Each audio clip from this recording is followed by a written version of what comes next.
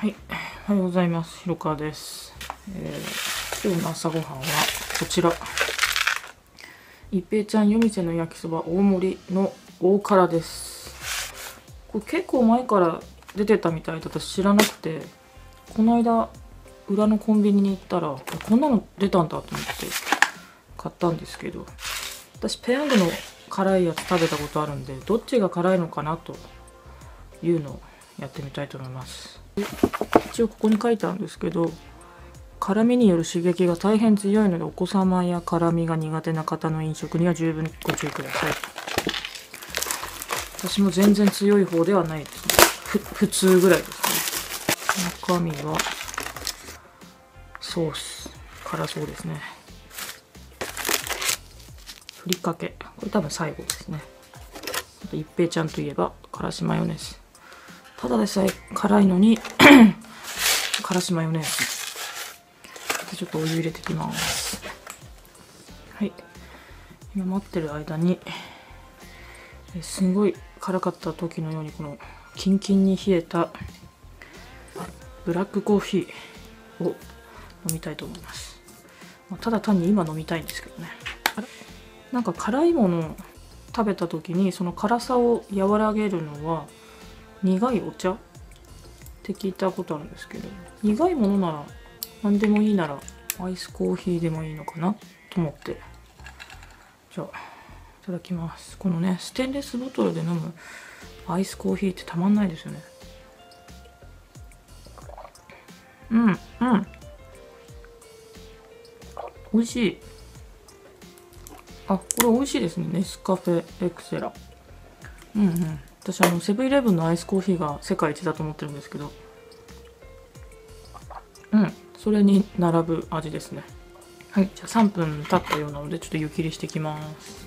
水。あじゃないお湯切ってきました。この段階ではあの危ないあの普通の一平ちゃんと同じ感じがします。だけどこれですね。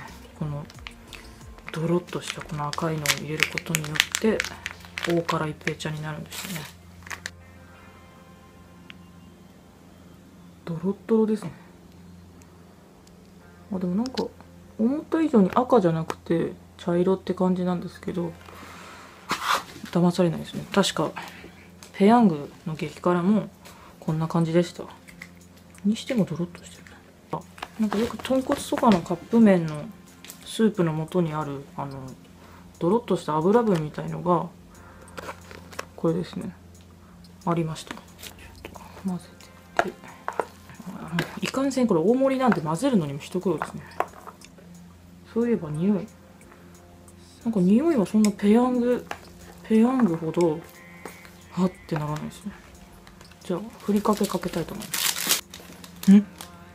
あふりかけが赤いです。あこれこれが追い打ちなのかな？はい。真っ赤っかですね。うわ。もう消費者をどうしたいんですかねこの焼きそばは。これはじゃああのちょっと後でまたかけてみたいです、はい。とりあえずこの辛いだけもう辛さ以外何もないっていうこの一平ちゃんをまず食べたいと思います。これな。これ結構ふりかけかかったところですね。はいじゃあいただきます。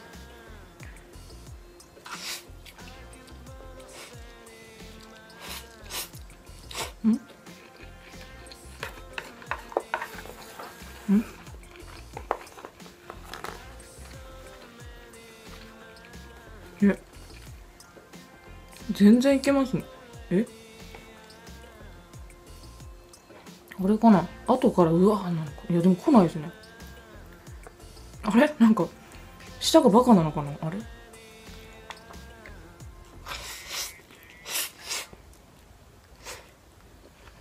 うん。え？全然。全然いけます。私あれ？えどうなんだろうこれ。ちょっと自分一人しかいないんでわかんないんですけど。あまととりあえずあのペヤングの激辛に比べたら全然ですね。ペヤングはもう次がいけないんですよね。辛すぎて。もしかしたら私辛いの結構いけるかも。むしろ美味しいですね。ペヤングの激辛は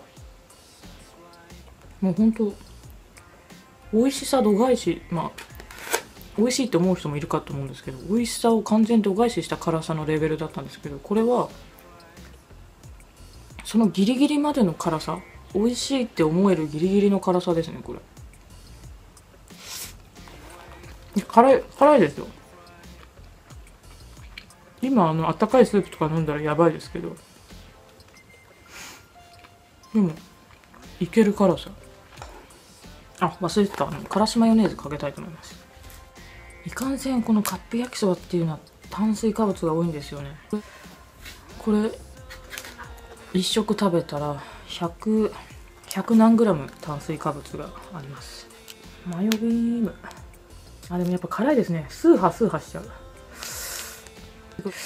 やっぱ辛いですね。時間経ってくると辛いです。この一平ちゃんといえば辛しマヨネーズ辛なんか急に辛くなってきました。遅くるのあでもやっぱアイスコーヒー飲むと収まりますね。じゃあいただきます。辛い。なんかだんだんよく分かんなくなってきました。でもやっぱり一平ちゃんはからしマヨネーズがあって初めて完成形ですね。すごい急になんかまとまりますね味が。あ。一平ちゃんのからからしが鼻にくる。一平ちゃんのからしマヨネーズを普通に売ってくれたら売れると思うんですよね。そしたら一平ちゃんが売れなくなっちゃうから。これめっちゃふりかけかかってる。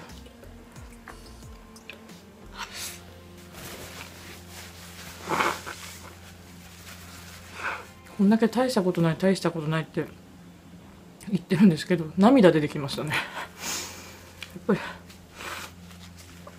体が体がちょっとおかしいって思ってますね。ああアイスコーヒー美味しい。ほんとこれおすすめですね。すごい安かったんですよね確か。あれかな広告の品で94円とかだったのかな。今日もう一回買ってこよう。というわけで、えー、一平ちゃんの、えー、大盛り夜店の焼きそば。大辛を食べたよという動画でした。やっぱり辛いですね。今口が辛いスーハーすると。皆さんもお店で見かけたらよかったら買ってみてください。それじゃあバイバイ。